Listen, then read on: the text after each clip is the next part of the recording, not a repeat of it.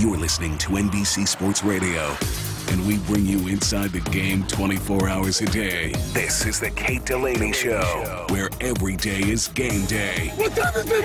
What time is it?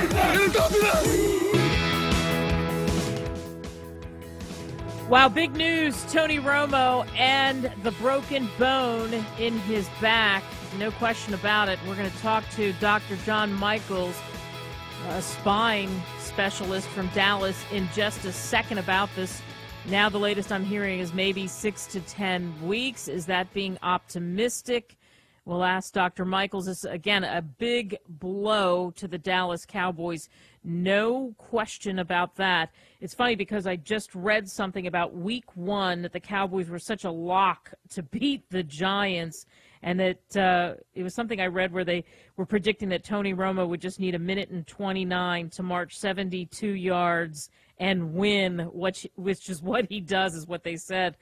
Dr. John Michels, by the way, is a. I want to tell you a little bit about him. He specializes in pain in the spine. He's also a former NFL first round pick in 96 by the Green Bay Packers. So that means, by my math, he is a two time Super Bowl winner with the Packers and with Brett Favre.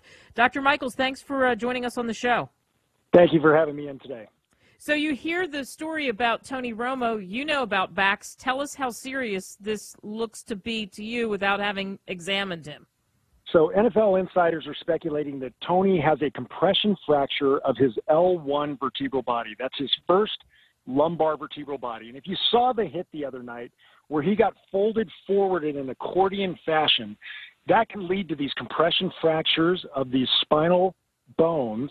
And this is different than the fracture that he suffered in 2014. If you remember, he broke two transverse processes, which are some minor bones that come off the sides of the spine. These are the big vertebral bodies. The speculation is what he fractured.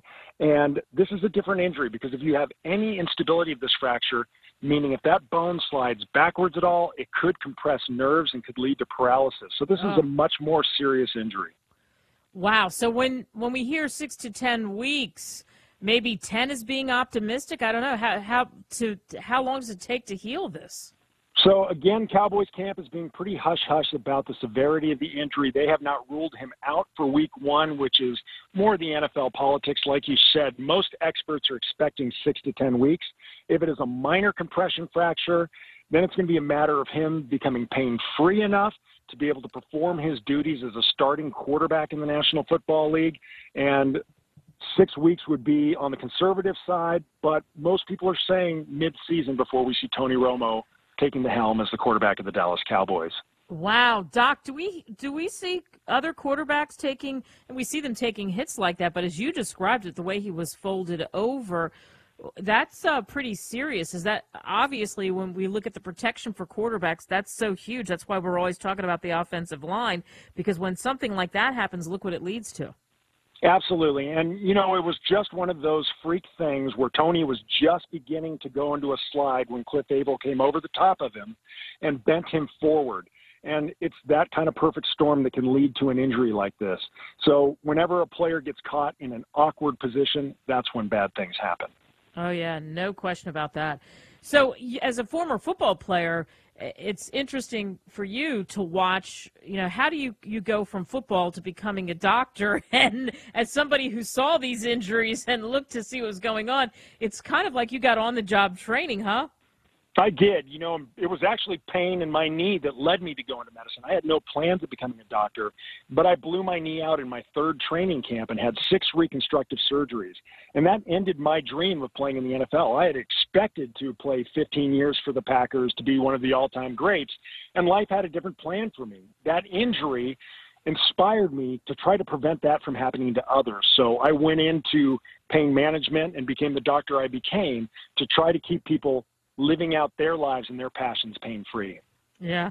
And and because of what happened with you and because it happened in the football setting, do you think we do enough? Do you think the NFL does enough to protect players or is there just no way you can do it when you're talking about gladiators that are hitting each other at such, you know, fast speeds?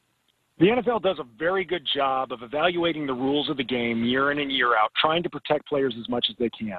But these are big, strong, fast men who are running after each other. Injuries are just a part of this game. Our bodies were not meant to take the amount of punishment that these players take week in and week out.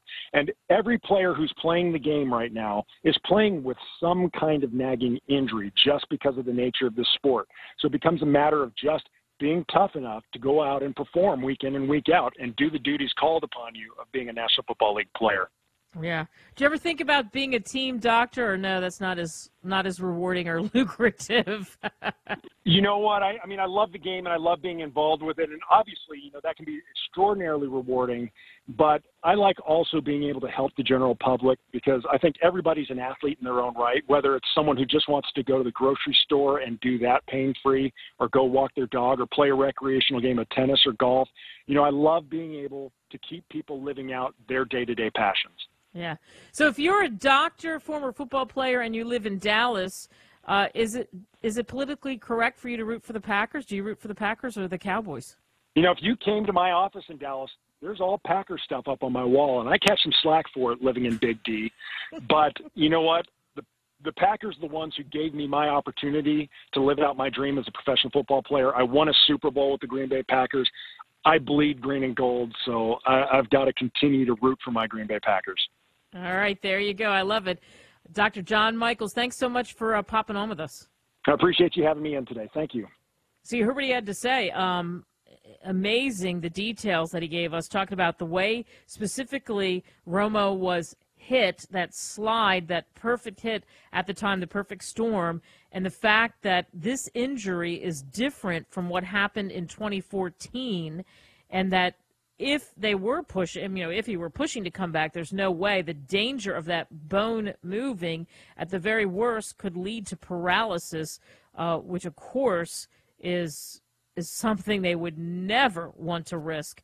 So, looking and listening to what he had to say, and looking again at that tape as I went back and looked at it, I'm sure many of you have seen the hit in that Seattle game a couple of days ago it he's absolutely right the way that that he was hit. But then what the MRI reveals wow he won't be back till mid-season. So then you look at the Dallas Cowboys and where are they going to be mid-season? Do the hopes of the team rest on the shoulders of the rookie quarterback Dak Prescott? Certainly it looks to be that way because uh, you know what else are the Dallas Cowboys going to do.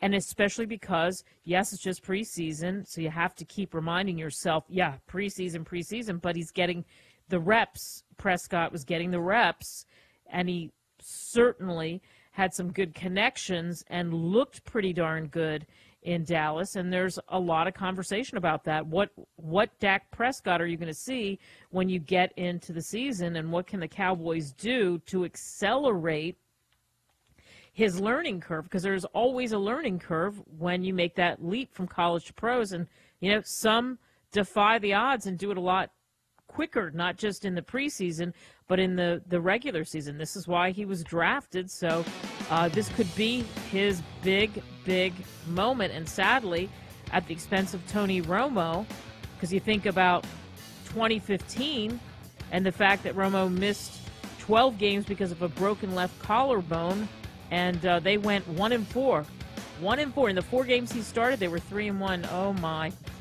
Stay with us, Kate Delaney, NBC Sports Radio, NBCSportsRadio.com.